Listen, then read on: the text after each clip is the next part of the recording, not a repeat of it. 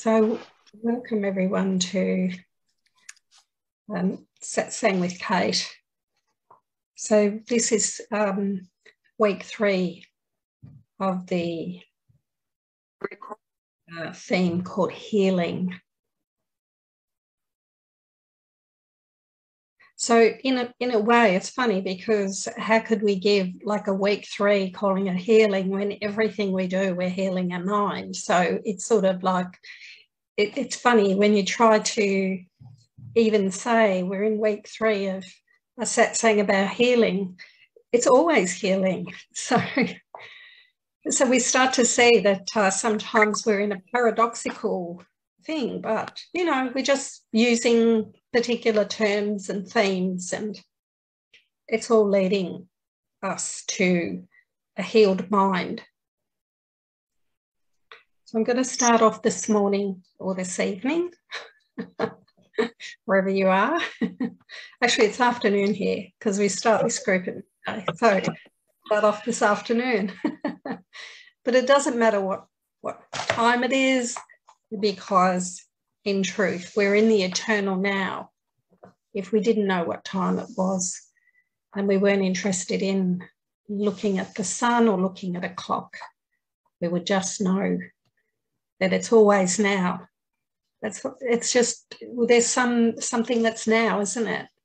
And without thinking about the past or yesterday or what we did even one minute ago, we're always in the we're always in the present it's impossible to be out of the present moment you can't be because your mind's always in the present it can be thinking about the past but you're thinking about the past in the present you're always in the present so you don't have to try to get into the present because you can't be out of it so that's something that you can ponder on so this is a, a little poem from Helen's book, The Gifts of God, her poem book.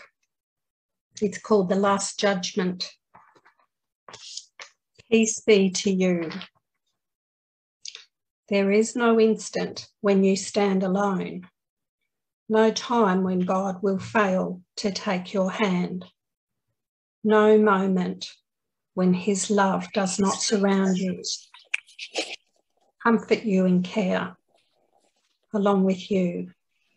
For every wish you have, each little joy or stab of pain. At one with you forever, he remains your one relationship, your only friend. You are the Holy Son of God Himself. Peace be to you, for what is His is yours just lovely little sort of reminders, little summaries of the course. So I'm just going to just do something here, just mute on arrival, just because it just helps with the, um, for our minds to settle. But peace of mind doesn't have to have silence in the outside, what we call outside, we take the silence with us. So today's, um, first of all, welcome to everyone that's just joined in the last few minutes. So today's satsang, we're going to um, continue the theme of healing. We've got, um, it's funny because I was given this uh, particular meditation out of the course and I kept saying, um, no, is there any text? Is there anything for me to read out before the meditation? And just nothing was coming in. And it was kept coming in, showing me how in the last couple of weeks we've done the meditation where we've focused on particular um, people in the group for healing. And that was very strong in my mind that that is to continue in the group and be the focus of the group for a, for a period of time. So we can start to see that the last two weeks when we've done the really deep meditations. Now, generally I include a lot of, you know, different meditations each week. Um, so there's going to be um, there's going to be some sort of we're going to do sort of three different things today. The first thing is um, just a just a, a, um, a way to help you get into the decision maker. Then we're going to do a meditation based on um, a particular thing that Jesus has in the course. So I'm going to read it out. It's, he gives instructions. So I'm just going to read it out. We'll just do it. And then the third part will be where we, I've got a couple of paragraphs from a section of the course where once again, we'll ask anyone to put their hand up at the end of the group that would like the group to focus on them for three minutes and see, hold them in our minds as the perfect holy Christ, the innocent Son of God. So, what happens is when we do this final part, we um, we're, we're actually cleansing our own mind. And the person that we're all focusing on is um, possibly going past some resistance to the receiving of love, but it's all happening in their mind. So, one of the things that we have to sort of get to sort of an understanding is that everything's happening in our mind. Nobody actually heals us.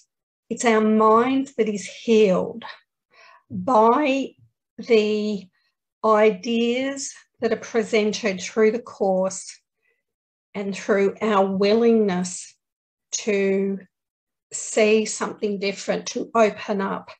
Now, sometimes people think that somebody's done something for them. But what happens is, like Jesus and the Holy Spirit are like symbols and keys. They're like keys that open a door in our mind. So we can, as teachers of God, which is what we become when we do this inner work um, with our mind, we now become that that Jesus was. So he wants us to be the Christ mind in the world as well. When I say in the world, it's that it's like everything I say you could argue with because you could use these levels and say there is no world, there's no one to heal, there's no nothing to do, right?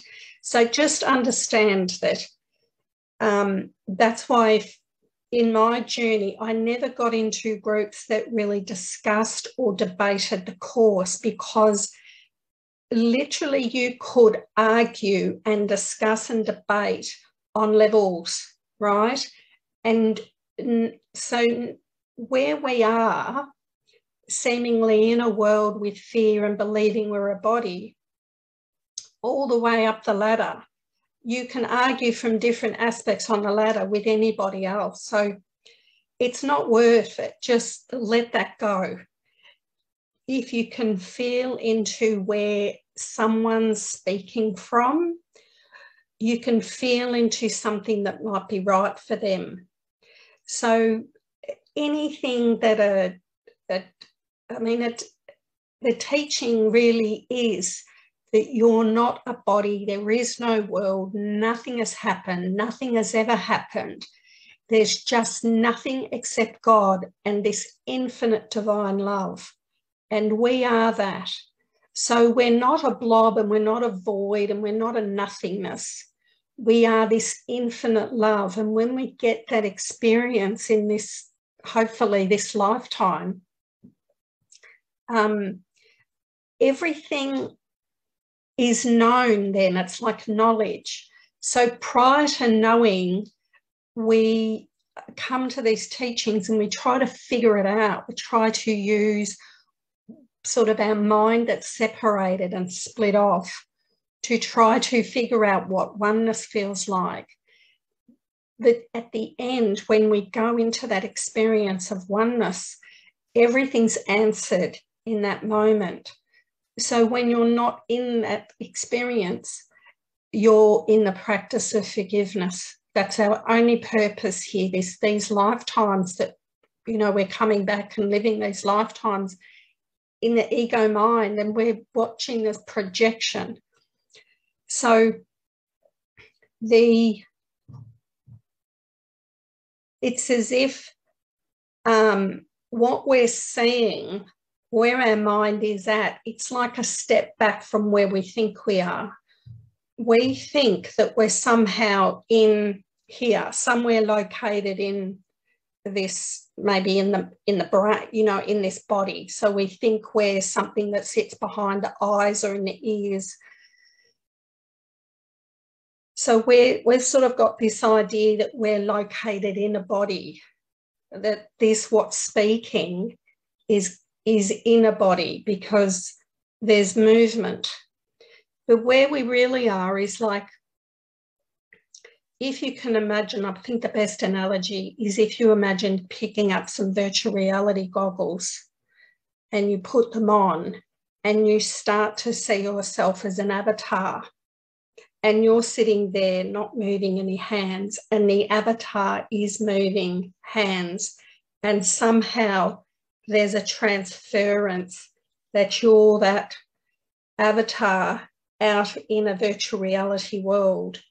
But you're the one, what you're doing is that's why you're viewing mentally what has gone by because the whole virtual reality game is over.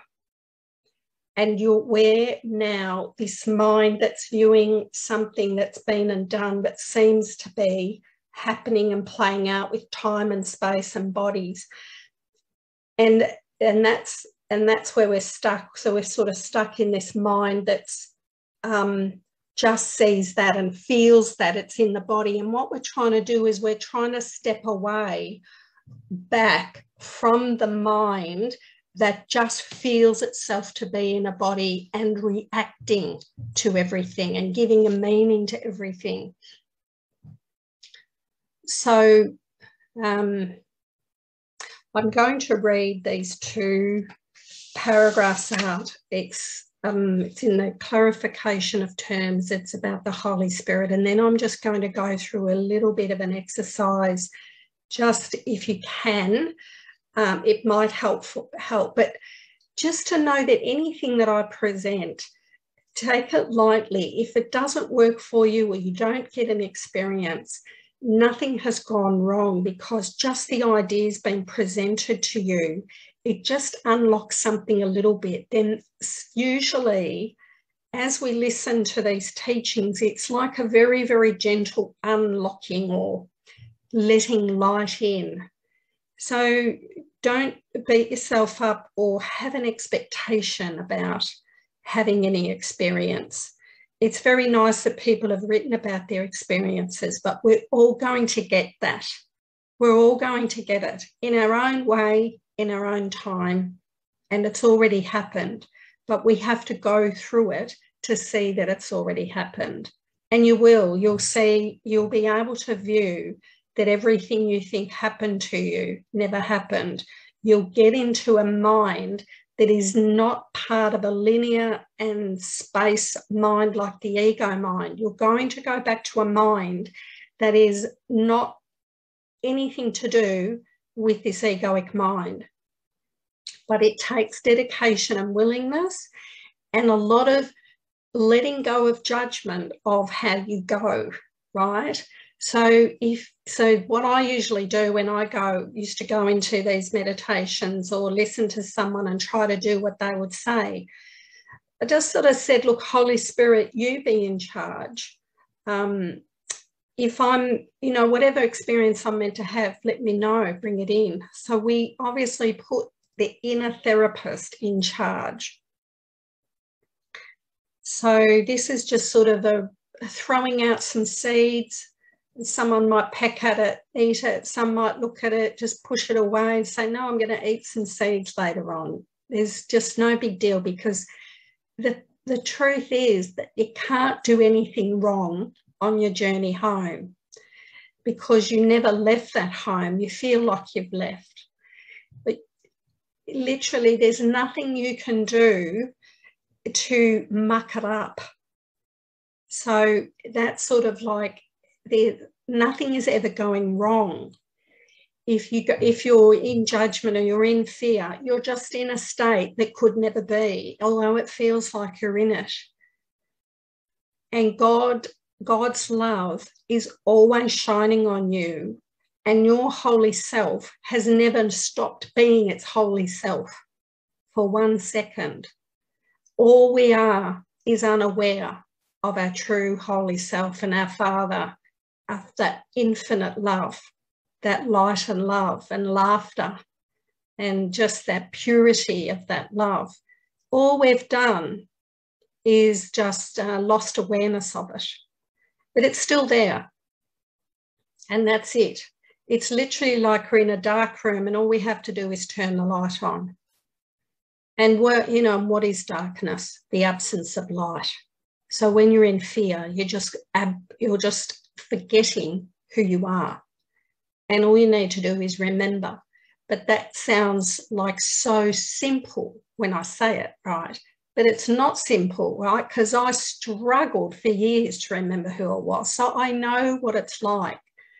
So we use these lifetimes and we just really, the best thing you can do is be so kind and gentle to yourself as you uh, go through this particular lifetime.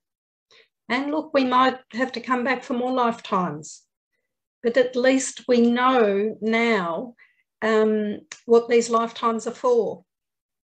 So we can say, hey, isn't that great? I can, I can give up trying to seek outside myself and I can start to come within. So I've talked a lot about Jesus in my previous recordings.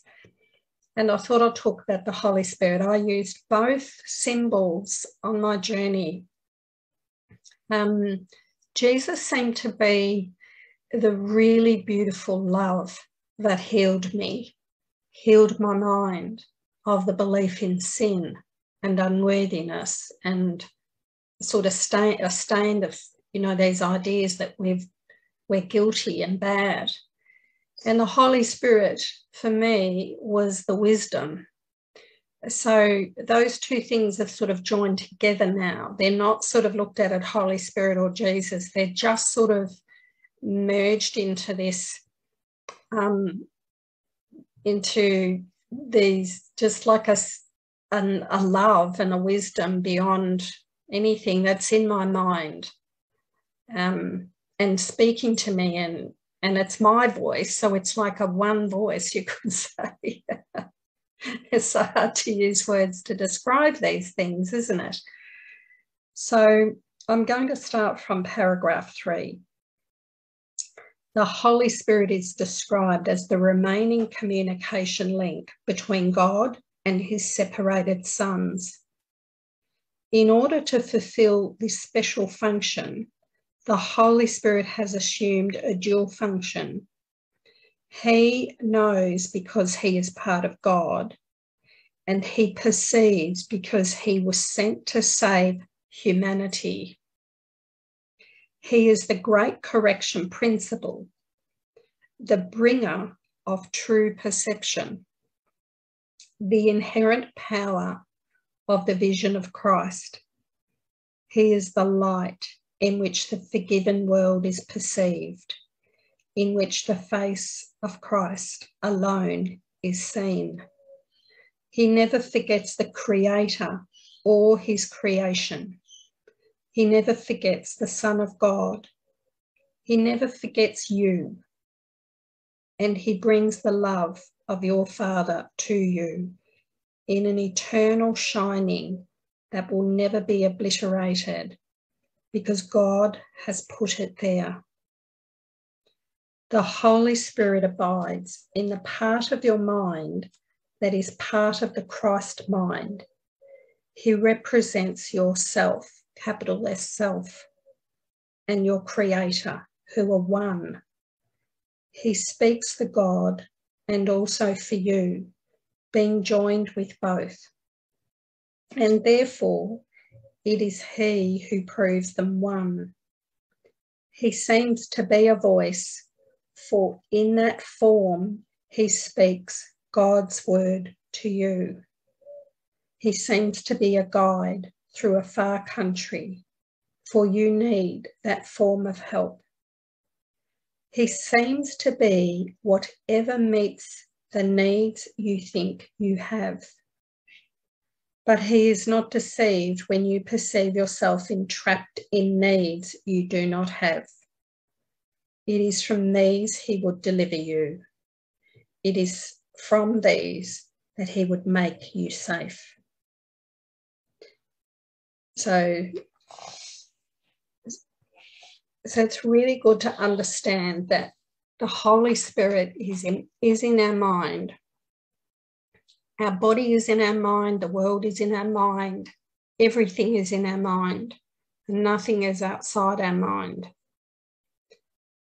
So, just for a short period of time, I'm just going to go through some um, inquiry or some things I'm going to ask you to do just to these sort of things helped me to get into the decision maker mind, the observer or the witness. So, if you'd like to just close your eyes for a few minutes. And just, I'll give you a couple of minutes now before I ask the first question, just to settle down just quieten your mind, use whatever practice you use, or you might just want to sit and sink below the thoughts.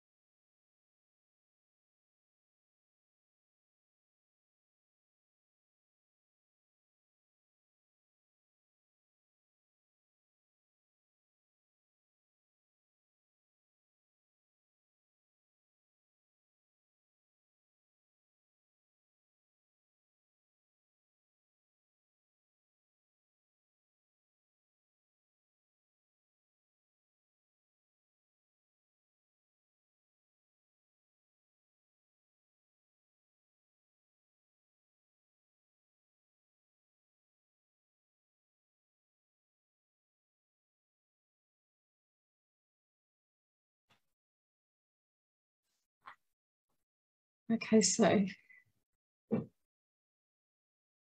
just try to locate your mind.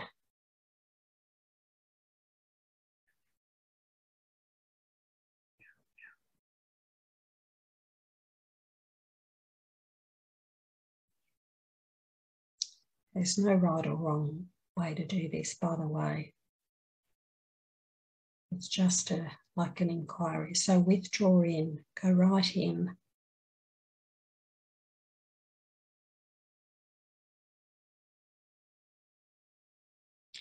Now,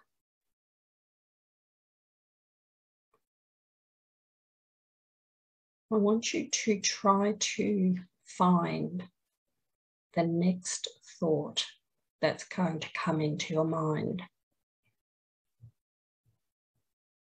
Just wait and look.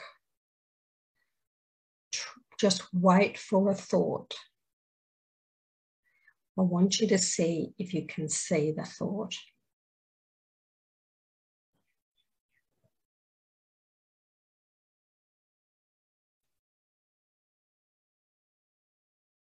Now, whatever thought that was, if you were, if you had a thought and you were able to see it,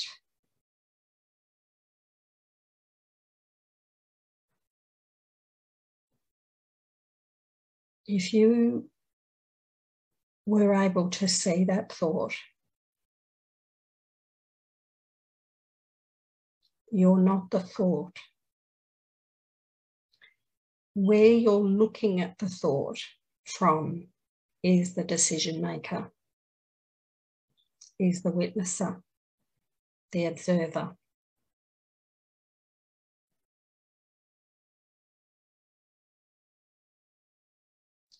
Now, once again, try to see the next thought that comes into your mind. Just wait in silence and wait for it to arrive.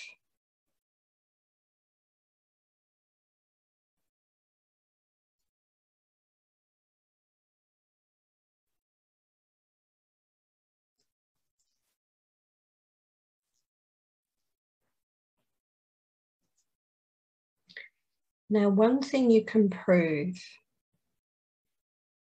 is that if they were your thoughts, if that thought that arrived was your thought, you would have known what it was before it arrived.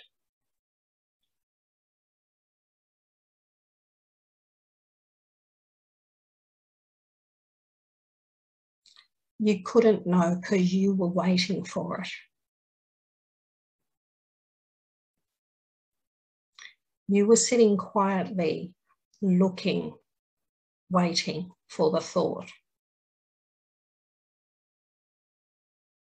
So, you, this little exercise proves that you are not the maker of thoughts, because if you were, you would know what it would be, but you were waiting for it.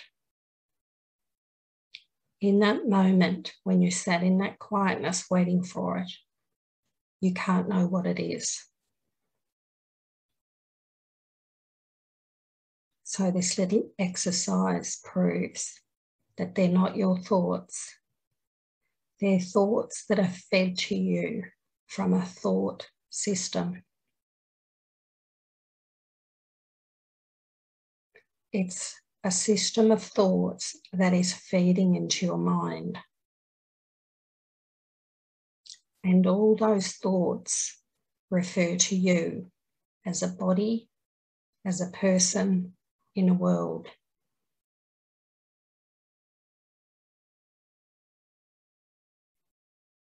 Now you may have had a thought, you know, I need to, I need to remember to buy such and such at the shops, or I need to remember something or after the group or or you might have had a thought about the meditation later on. Should I put my hand up? But you still can't know that thought when you're sitting watching the thoughts. Jesus says for us to look at our thoughts as a procession going through our mind So the thought arises and leaves. And then we come back into the decision maker, the observer of the thought.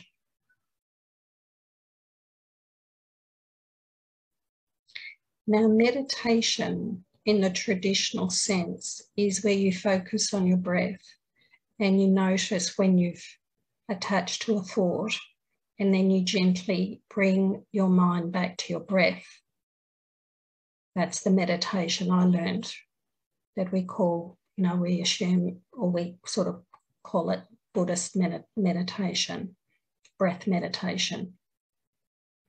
So there's various meditations that you can use. But one thing in that type of meditation is that you're noticing when you've attached to a thought, you've been drawn away from it, and then you bring your focus back to your breath. So, with our forgiveness practice, what we're trying to do all day, every day, is notice when we've attached to that thought, just like in meditation. but we don't bring our mind back to our breath. We bring that thought to the Holy Spirit. And we have it replaced with another tr- a true thought, something that corrects it, gives us. So, our Course in Miracles journey is about correcting our perception, correcting our thoughts.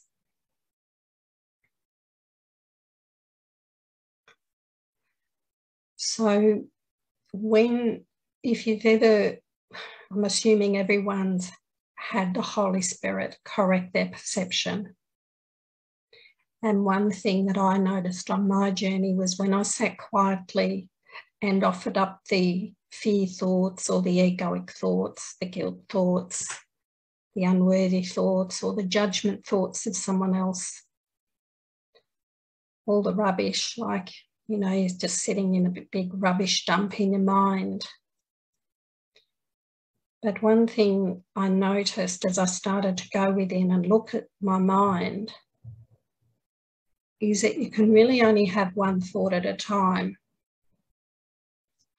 So when you're in the ego thoughts, if you offer them up as the decision maker, so if you can let a thought go, you're not the thought. If you can say, Holy Spirit, I give you this thought, you can't be the thought. You're the one letting it go to the Holy Spirit. And then when you then feel um, a little bit peaceful after you've done that, and you say, Holy Spirit, bring me the correction, which is all we're asked to do, is be willing to have it corrected. You can start to see that you're sitting there with a sort of a quiet mind waiting for the correction. And then at some stage, a correction comes in. Something comes into your mind to help you. And that is the Holy Spirit. It might just be a rem- remembrance of the daily lesson. It might be a remembrance to apply the daily lesson to the upset. That is the Holy Spirit because the ego would never tell you. The ego thoughts are based on separation. So, any thoughts that say apply the daily lesson or remember what Cate said or re- remember what David Hoffmeister said here, any or any other teacher you follow or anything from the course or you know anything that comes in that helps you is the Holy Spirit. We do not have our own thought system. We don't have, I don't have Cate's thoughts. There's no such thing as Cate's private thoughts. We only have a choice between thoughts that come in that tell us we're unworthy, that tell us we're guilty, that tell us we're separated, that judge others. Now, just doing this little exercise where you look and what is my next thought going to be means that they're not your thoughts. You're the one witnessing them the ego, what happens is when um, we're caught up in the ego, we're not in the decision maker, we're not in the observer. So as you go and you keep doing more and more forgiveness and more introspection and watching your mind, you start to move more and more into that place where you're watching the thoughts and you can see a thought appearing and you just say no thanks and let it go. And that's what we call sort of like quick forgiveness and instant forgiveness. If you get caught up in the story that the ego brings, it brings one thought, and then if you attach to it and show interest in it and join it and say, Yes, yeah, I am bad. Yeah, I really mucked up there, or I shouldn't have done this and I shouldn't have done that. You're in the thoughts again. They've come in, they've overwhelmed you, and that's when you generally have to do what I call medium forgiveness or long forgiveness. Sometimes it could be just sitting down and just saying, What meaning have I given this? and let it go. So you can watch the meaning the ego thoughts have given something and let it go. And other times you need to, there's going to be like a lot of sort of forgiveness to do long forgiveness, which is where it might take a few hours to unwind you from it. And it doesn't matter what it is, it, as long as you do it. So you're willing to dig away at it until it's released and gone. So, as I've said many times before, forgiveness is any time you're using some like repeating something from the course, thinking about the love of God, feeling into it, whatever you're doing that isn't based, any thoughts based on fear and guilt and judgment, you're in the Holy Spirit. So our brothers can speak from the Holy Spirit. Um, the Holy Spirit can appear in your mind, uh, you know, through your thoughts, through something reminders that is something helpful.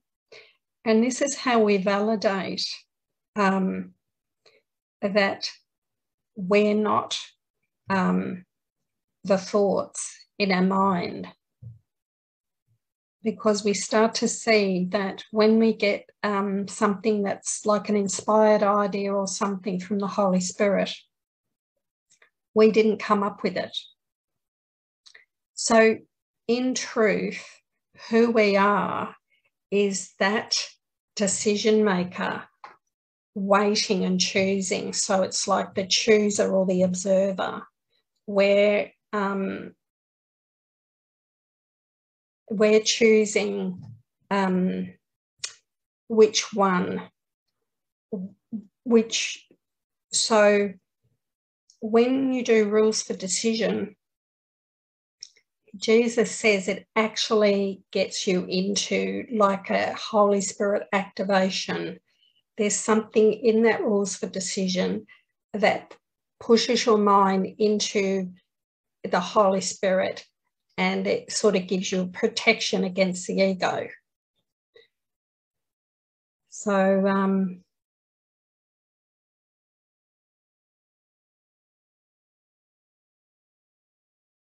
I was just looking at the little comments, so that's nice to wake me up here.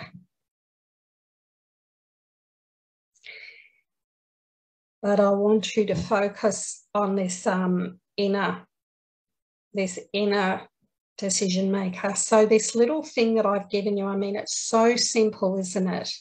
Just to look at your next thought and also just say to yourself, I'm going to find my mind I'm going to look within and look for my mind. And really, the answer is you can't find it, right?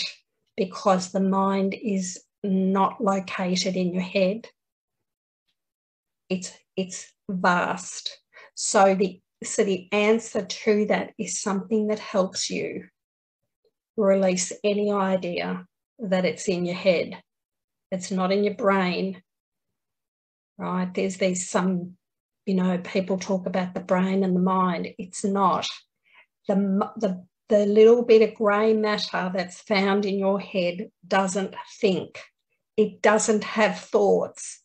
We have to get past this idea that the brain is thinking. The brain doesn't think. Okay. The mind is not something that you can locate but you can, but you can be aware of thoughts in the mind. So when we do these meditations, when we're blessing someone and washing their feet, we're doing that to someone in our mind. So when we look at somebody that we think is outside of us, we're looking at an image that we think is outside, but it's in our mind and it's just an image on a like on a screen in our mind. And then everything we think about that image is in our mind because you can start to look and you can start to see that anything I see or think about is anytime I'm upset, it's coming from my thoughts and my beliefs and the meaning I've put on it. And it's not I've put a meaning on it. The thoughts that come into my mind tell me the meaning. So it's like a step back. Jesus, first of all, starts off with that you have given everything all the meaning it has. And you can do some really practical applications of that your whole day. You can pick up everything and say, what meaning did it do I give this? Why do I like it? Why do I not like it? What do I think about it? Can I think of somebody else that has another meaning on this? Therefore, it doesn't actually mean the thing that I think it means. I've given it a meaning, but not me, because there is no Cate. There's no Cate's thoughts. So the thoughts that I'm entertaining are saying this has a meaning. So that's that when we step back, we don't use the I statements. I have given it. We start to step back and say, my thoughts have given this a meaning. And I'm believing those thoughts. So it starts to, so if you can look at the thought, you can start to notice that the observer, the decision maker or the observer that looks at the thought, say the thought says, um, you know, this iPhone is fantastic. So, say the thought says, I love iPhones. I don't like um, Google phones or whatever. It gives a meaning to it.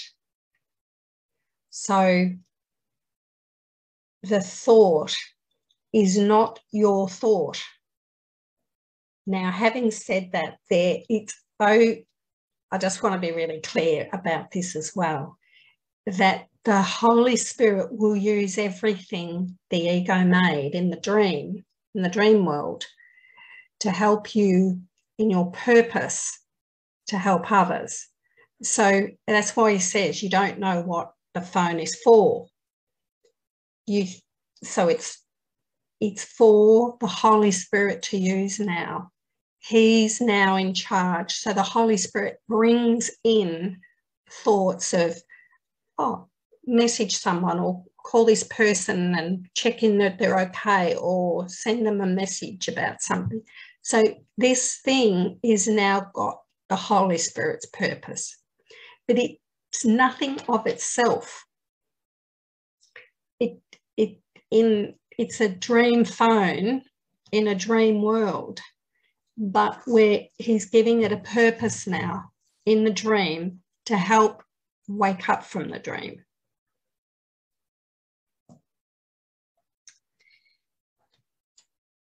So let's just get back to the decision maker because that's what I really wanted to focus on today.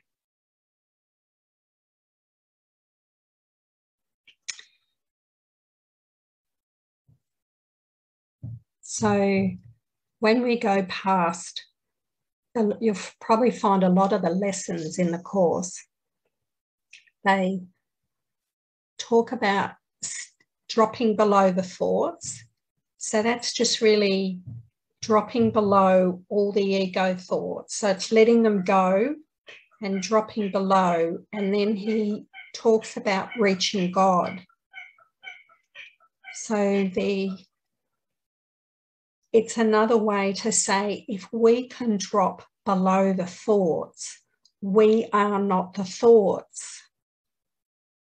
He's asking us to drop below them. So even so all these little things are pointing to us that we can do that. We are, when he says the power of decision is your own, this is the power for us to choose. And as we start noticing the ego thoughts and not attaching to them as my thoughts, they're going to be very convincing because they talk about you as if they know you, but it's but they're not about us. They're about us as a body, as a separate person, and they're judging us and judging others. So the thought system of the ego, way I look at it, is like a, a balloon, a bubble, and all the thoughts are contained in that balloon. And then the thoughts leak out the hole at the end. You know, when you hold the balloon really tight, so only a little bit of air comes out. And it's interesting that it sort of sounds like a fart, but that's really what the ego's like, right? It's sort of, you know, it's just noisy and meaningless, right? But we attach to those thoughts, and Jesus says we're attracted to them. We want to feel guilty. We're, you know, because we've got this guilt, this unconscious guilt in our mind. So that's that's just a little bit about feeling into the decision maker. Little ways that you can do that, and you can keep doing that if you like here and there. And that proves, it proves that these little uh, exercises prove that you're not the thoughts.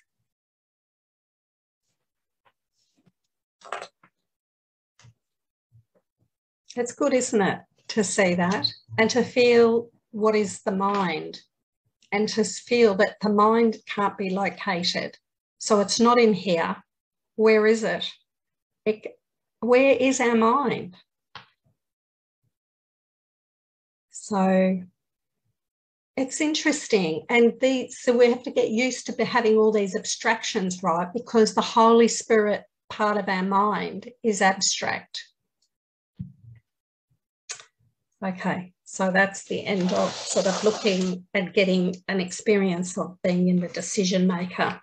And the power of decision is my own. So I've proved to myself that they're not my thoughts because if they were, I wouldn't be sitting there waiting for a thought, not knowing. So I've already proved to myself that if I can't know my next thought, it can't be my thought. It can't be my thought or I'd know it. I'd know what my thought was going to be.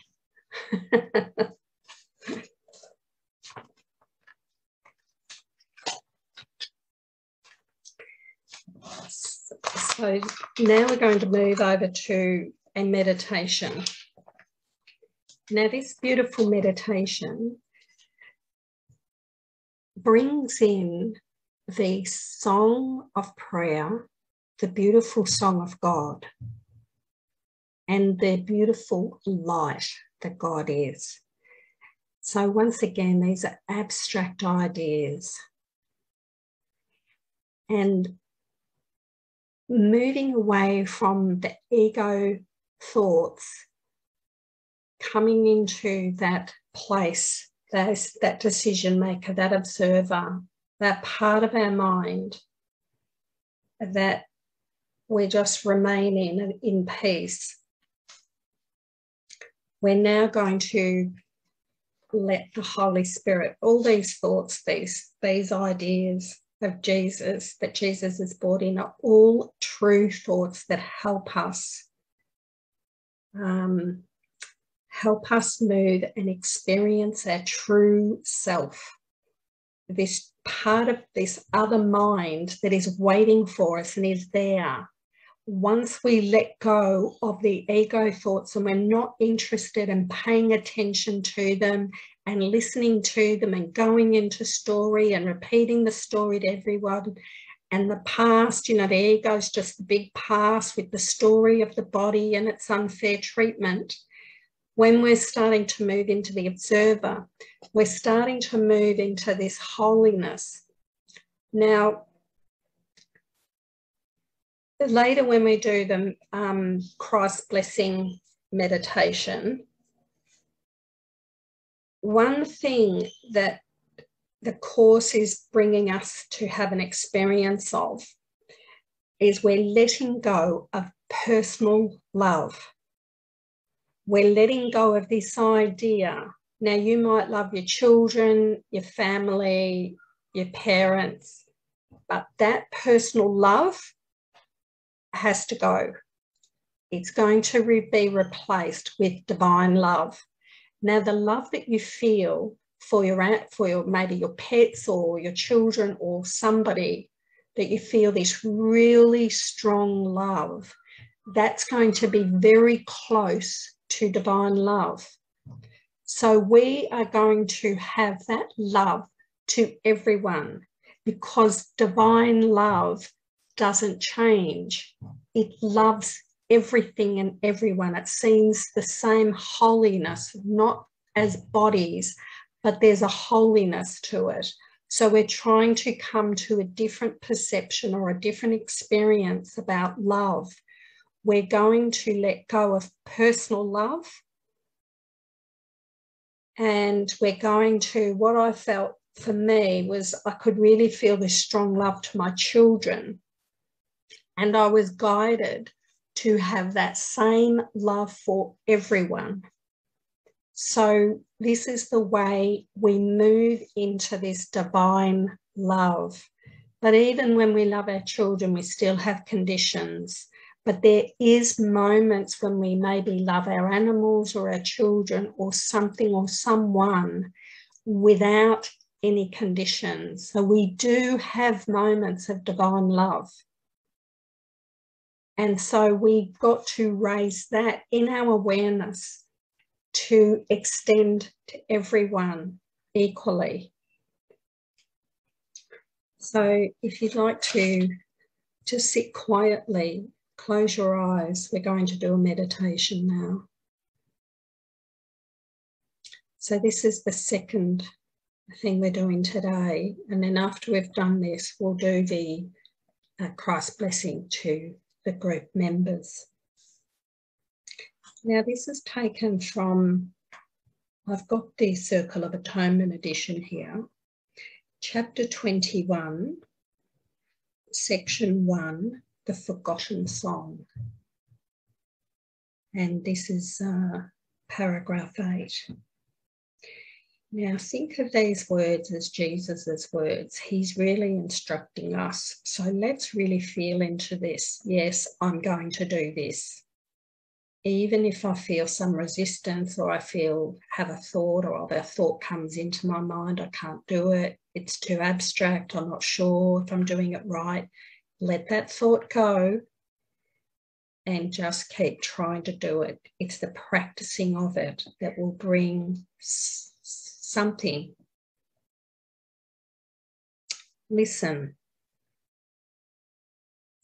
and try to think if you remember what we will speak of now.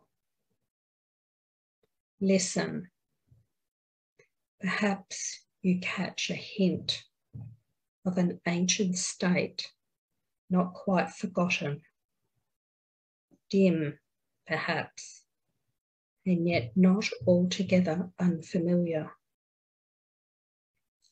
Like a song whose name is long forgotten, and the circumstances in which you heard it completely unremembered.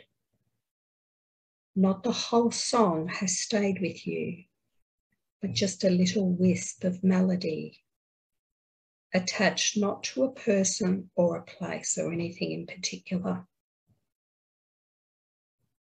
But you remember from just this little part.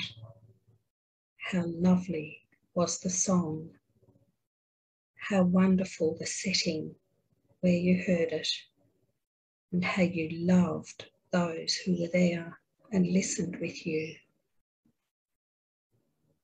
The notes are nothing, yet you have kept them with you, not for themselves, but as a soft reminder of what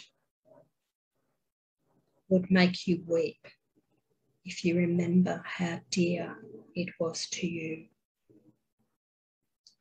You could remember, yet you are afraid, believing you would lose the world you learned since then. And yet you know that nothing in the world you learned is half so dear as this. Listen and see if you remember an ancient song you knew so long ago and held more dear than any melody you taught yourself to cherish since.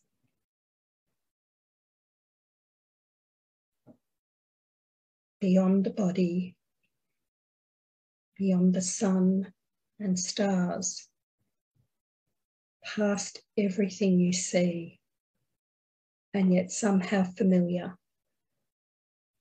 is an arc of golden light that stretches as you look into a great and shining circle. And all the circle fills with light before your eyes. The edges of the circle disappear, and what is in it no longer is contained at all. The light expands and covers everything, extending to infinity, forever shining and with no break or limit anywhere. Within it is everything is joined in perfect continuity. Nor is it possible to imagine that anything could be outside, for there is nowhere that this light is not.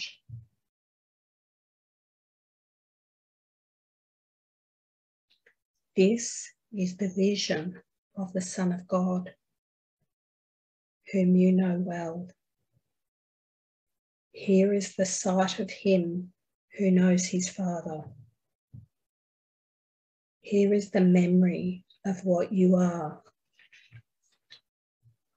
A part of this, with all of it within you, and joined to all of it as surely as all is joined to you. Accept the vision that can show you this and not the body. You know the ancient song and know it well. Nothing will ever be as dear to you as in this ancient hymn of love the Son of God, sings to his Father still. And now the blind can see, for the same song they sing in honour of their Creator gives praise to them as well. The blindness that they made will not withstand the memory of this song. And they will look upon the vision of the Son of God, remembering who he is, they sing of. What is a miracle but this remembering? And who is there in whom this memory lies not? The light in one awakens it in all. And when you see it in each other, you are remembering for everyone.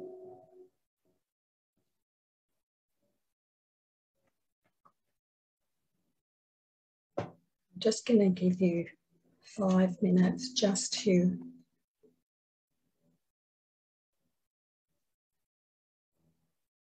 let that those words come into your mind.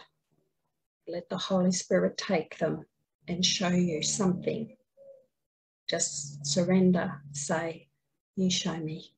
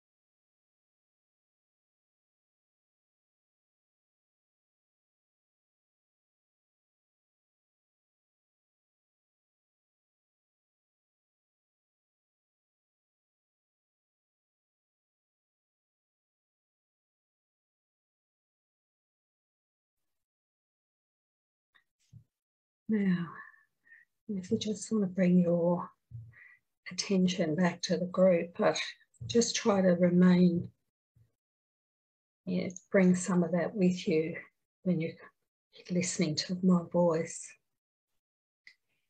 We're going to go straight into the last meditation because we want to bring that experience. We're going to use that experience that you that we've just tried to do. We're going to bring that into the next meditation, but give it a little bit of a purpose. Okay. So um, anyone that feels they would like the group to focus on their holiness, if you'd like to put your hand up, the mechanical hand, um, you put your, um, I think, and it's down in reactions at the bottom of the screen. That's it. We're going to do group one at the end. So everyone will be included. Okay. So there's six. Terrific. Now these are the instructions and I'll sort of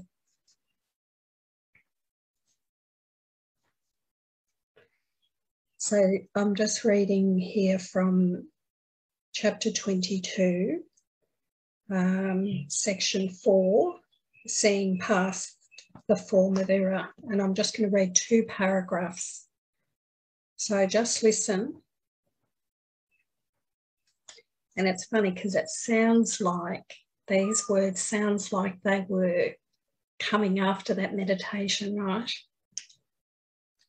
Beyond the bodies that you interposed between you and shining in the golden light that reaches it from the bright, endless circle that extends forever is your holy relationship. Beloved of God and holy as Himself. How still it rests in time and yet beyond, immortal yet on earth. How great the power that lies in it. Time waits upon its will, and earth will be as it would have it be. Here is no separate will nor the desire that anything be separate. Its will has no exceptions, and what it wills is true. Every illusion brought to its forgiveness is gently overlooked and disappears. For at its center, Christ has been reborn to light his home with vision that overlooks the world. Would you not have this holy home be yours as well? No misery is here, but only joy. All you need do is dwell in quiet here with Christ, is share his vision. Quickly and gladly is his vision given to anyone who is but willing to see his brother sinless. And no one can remain beyond this willingness, if you would be released entirely from all effects of sin, would you have partial forgiveness for yourself? Can you reach heaven while a single sin still tempts you to remain in misery?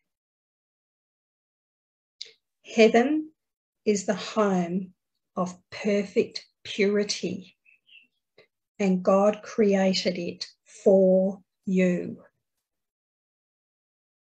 Look at your holy brother, sinless as yourself, and let him lead you there.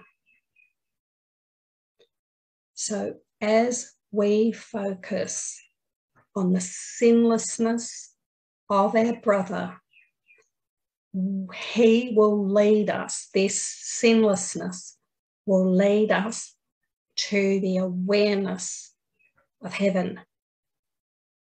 We cannot enter heaven with while we believe in any sin at all, either in ourselves or in a brother. So we wash away the idea and belief in sin through doing these exercises. So, my instructions for this today is we're going to be focusing on each person. But if you feel that there is someone in your mind that you it really feels like so the holy spirit's in charge of this right i'm giving instructions but you let him take what i'm saying and use it for you if you feel there's this one character that you feel i cannot forgive that I believe in his or her sinful nature or even my own sinful nature.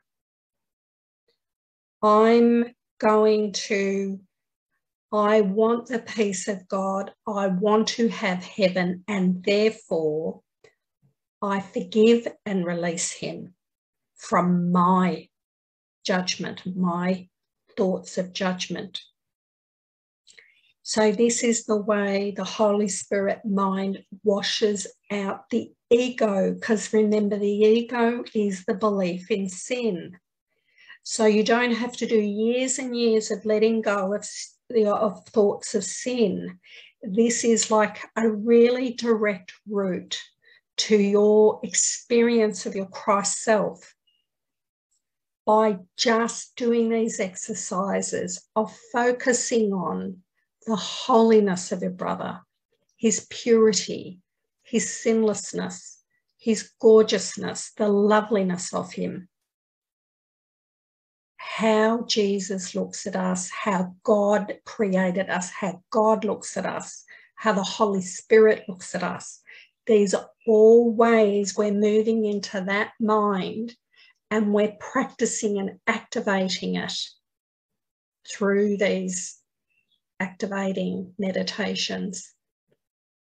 So let the Holy Spirit be in charge, but I would like you to, you can do one, one of the following that might help you.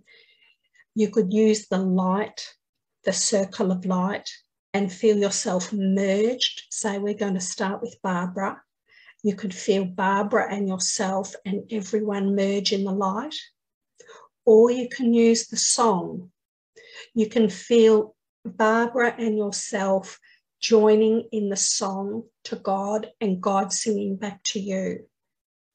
Or you can just imagine yourself sitting with Barbara, hugging her, holding her, telling her how sinless she is, how beautiful, how holy she is. Or you could wash Barbara's feet. Or you could, while you're washing it, you could say, Barbara, I see the beauty in you. I see the gorgeousness of you. I see your purity, sinless self. So there's some ideas for you. Feel into which one. And Barbara, you can do Barbara and then you can do yourself. But anything you do, it doesn't matter because they're all leading you to wash out this idea of sin. That's its purpose. So let's start with Barbara. And we'll give um, three three to four minutes to each person. All right. So, Barbara, I'm going to focus on you now. I'm just going to do a quick blessing and then let everybody's. So, Barbara, you have 42 minds joined with the power of God, thinking about how beautiful and holy you are. So, Barbara, I love you and I bless you and I honour you as the holy self that we are. You are innocent, you are sinless, you are guiltless, you are perfect,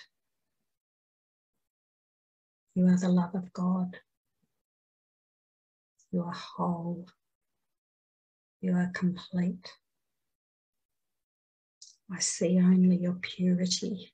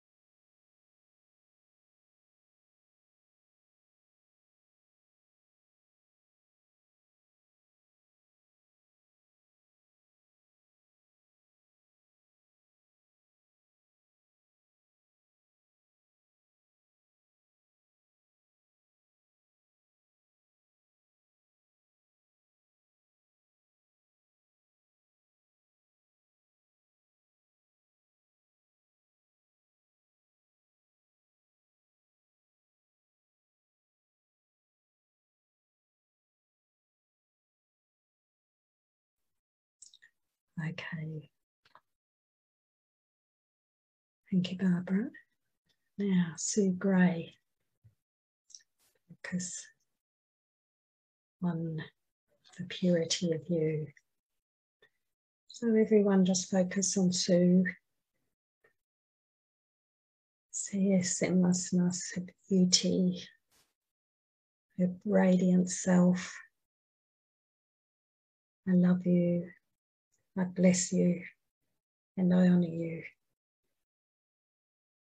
as our true self that is one, the holy self, purity. I see your sinlessness.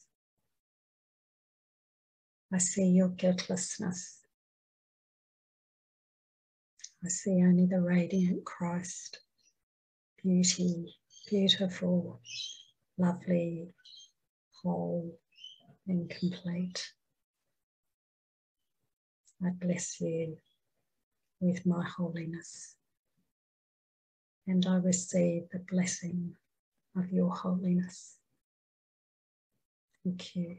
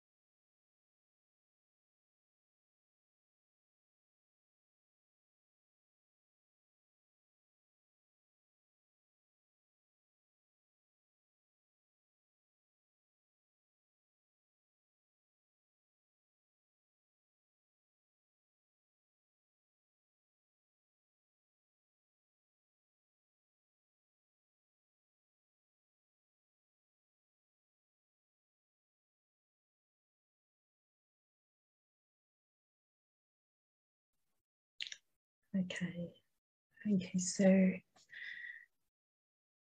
I hope you enjoyed having all that blessing coming in. Hazel.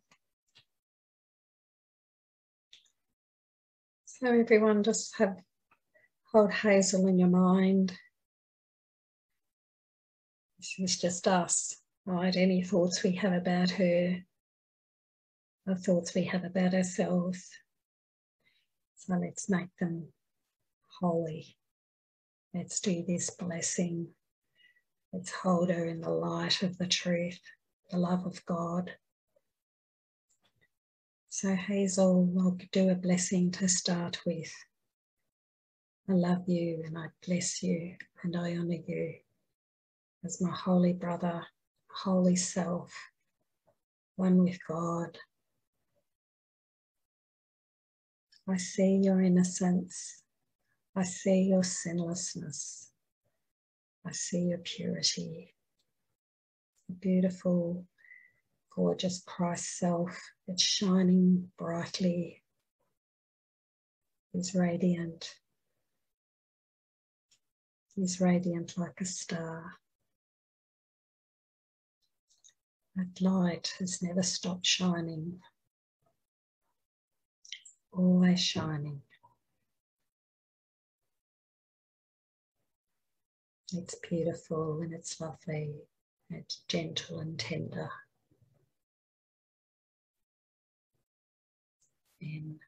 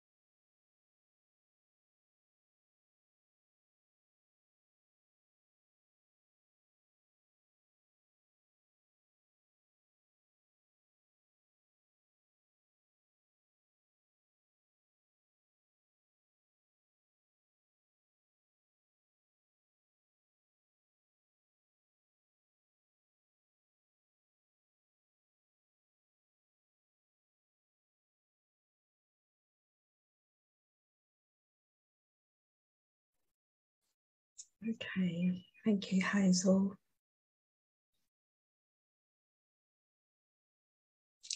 Now, Annalie. So, if everyone can put their attention on Annalie, but you may start to feel that it's starting to blend into this oneness. there might be some experience happening for you. So, because we're not looking at bodies, we're not interested in bodies, but we're doing this to help each other in terms of that the person getting the blessing can have a little shift of perception in their own mind. And that's all we're doing is, is they're receiving the blessing and they are opening up and healing in their own mind through the joining of this. So, Amalie, I love you. I bless you. And I honour you. And thank you. I see just the beautiful Holy Son of God, the beautiful Christ, the light of the world, the inner radiance, the holy love emanating from you. See your true self, sinless, guiltless, innocent, lovely, beautiful, and whole. I feel blessed by your holiness, and I bless you with my holiness. I feel us joined in a warm, beautiful hug of love. Amen.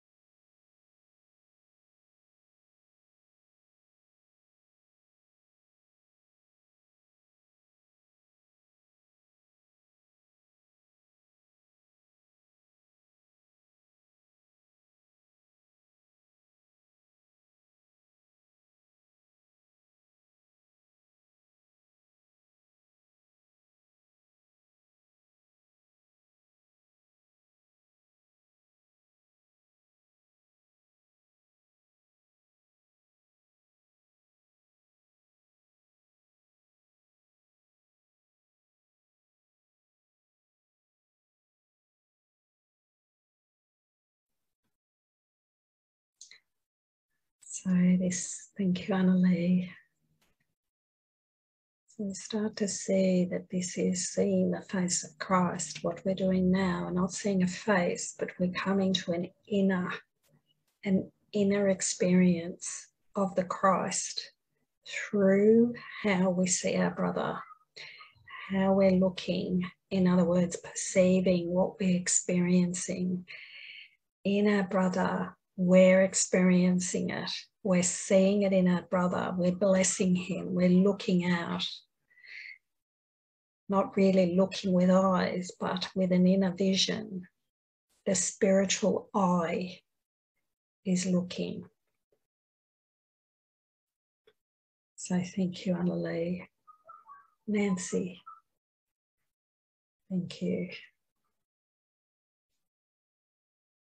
Love you.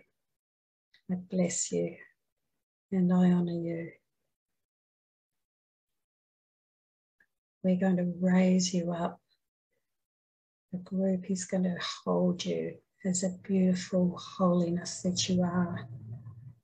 The radiant light, the love of God, the infinite self, the vast eternal love of God, the Holy Christ, blessed, loved, divine. The beautiful, sinless self, infinite, vast, holy, loved, blessed. Thank you.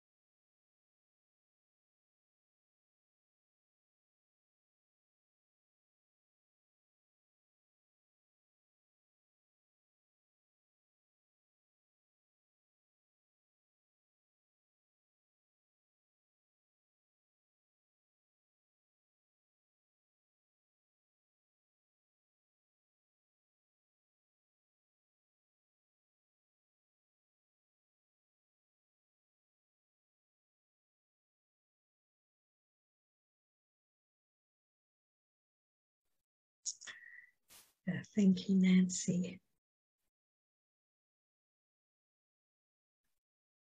Nikki.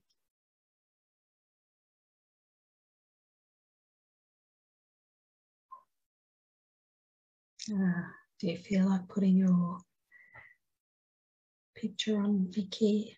Well, it doesn't matter if you don't.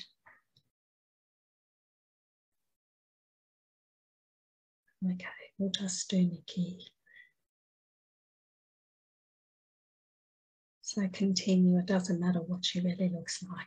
It, it's got no concern because we're holding exactly the same. Because this is not anything to do with the body.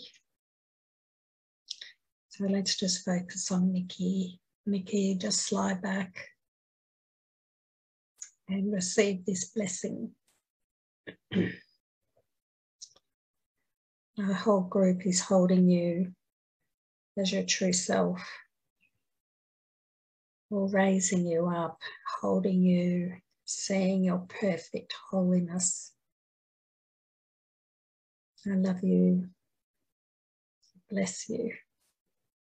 And I honor you. I see only your holy self, beautiful love that you are, the infinite vast self beyond the world.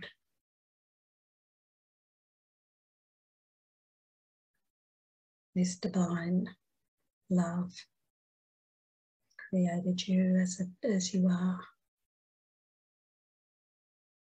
Your sinlessness, your guiltlessness, just pure, just pure, just purity, this white, beautiful light and love that you are. You are perfect, you are whole, and you are complete. No thought can ever damage your radiant self. They're just thoughts and they come and go.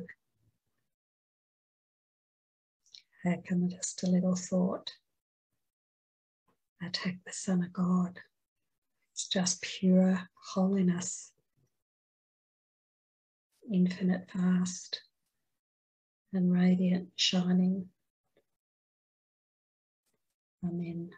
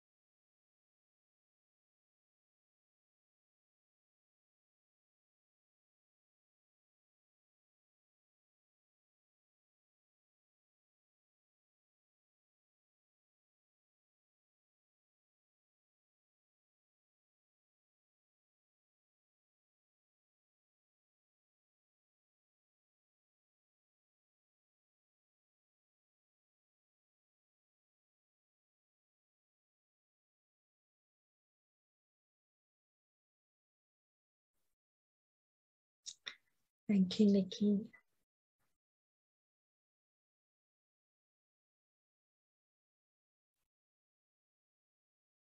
Uh, so, the last one we're doing is Julie. And then we'll do the group as a whole. So, Julie, accept this blessing and this love from the minds joined in this group as we lift you up and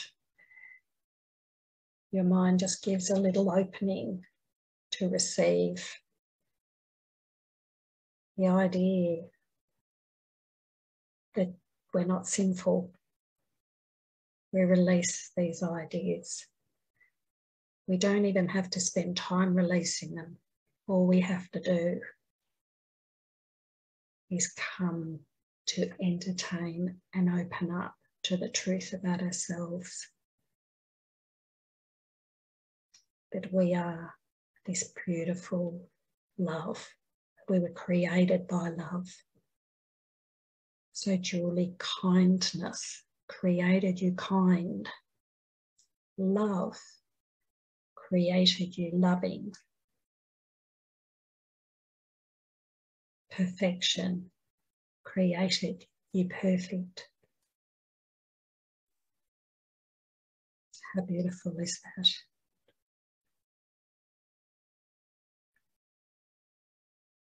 I love you, I bless you, and I honour you.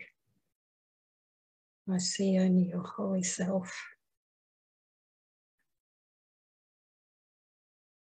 The inner spiritual eye the mind sees the beauty, the Christ, the infinite love that you are. I bless you with my holiness. I extend my holiness and my love. I receive the blessing and love of your holiness and join you in that. Amen.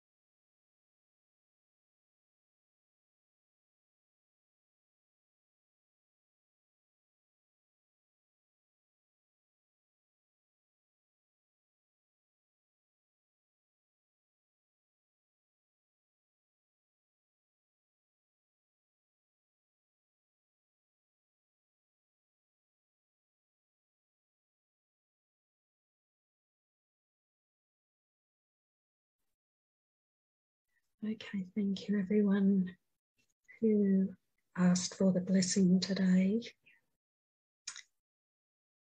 Now we're going to do the group as a whole.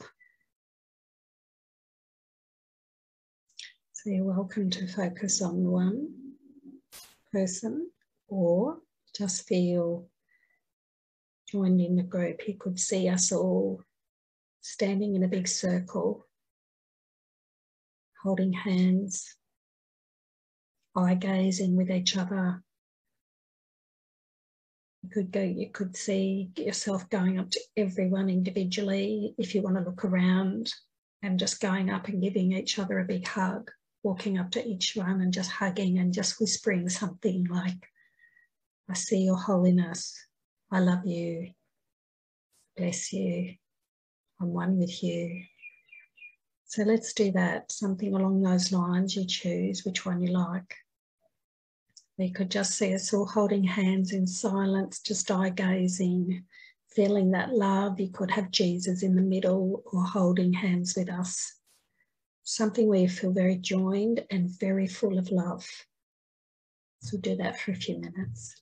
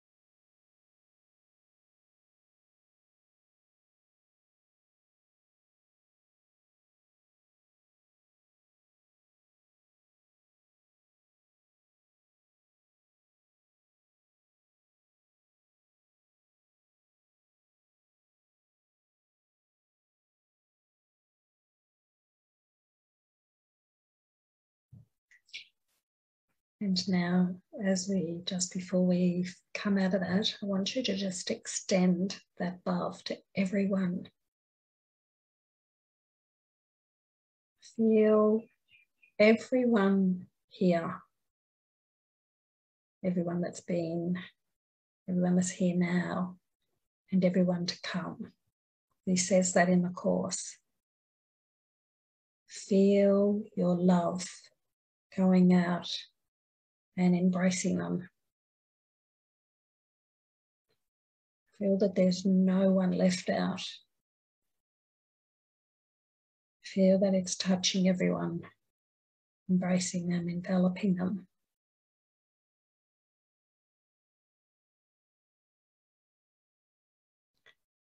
See everyone's faces raised with smiles.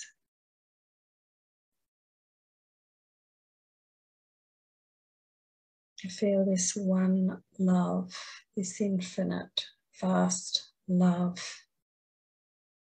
like this golden light emerged in it.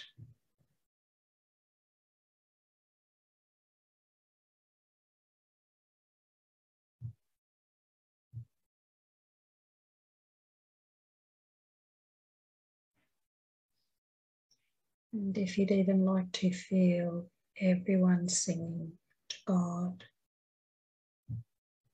everyone joined in the song to God, just feel this gratitude, this really deep gratitude of everyone singing this one love song.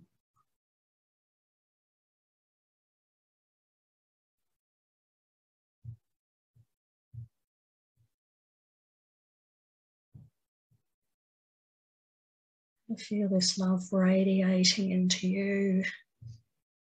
That is God, this infinite love, this love filling you up as you sing of love and gratitude, joining everyone, all voices raised and singing.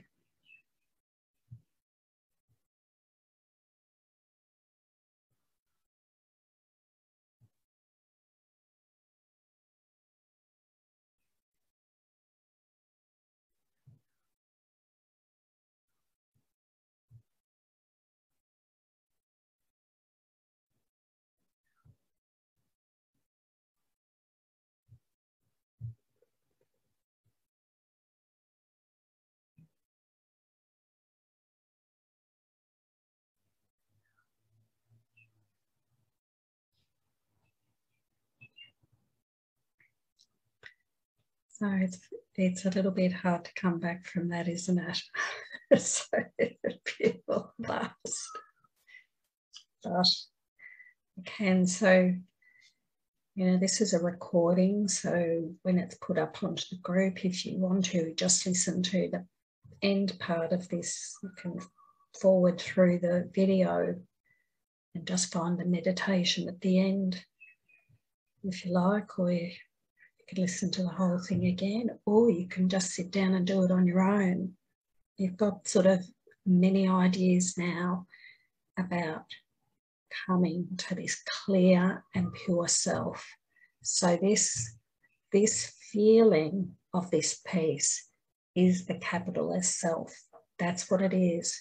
It's that peace and love and gratitude that is present here and now without any thoughts, so if you're feeling just resting in this inner peace and there's no thoughts, you're in the self. You're in it. There's nowhere to go because you're already there. You have the peace of God. It is the same as the capital S self. So thank you everyone for joining in today. Thank you to Shannon for your help. And uh, try to spend the next few hours in quietness. Don't rush off to, if you can, don't look at your phone. Just let this marinate. There's more to come. There's a deeper experience always. There's this luscious love. So try to, if you can, spend the next few hours in quietness. And even if you can, I know a lot of you are going to bed in a few hours, try not to talk if you can. You might need to do some say something practical, but try to keep this because it's like it will really come like a little bud of a flower and open out. And there might be some more experiences, a more sort of a revelatory experience bubbling up. So try to do that if you can. Okay, guys, I'll see you next week. Love you. Bye bye.